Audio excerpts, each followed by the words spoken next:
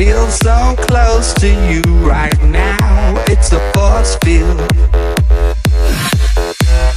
There's no stopping us right now.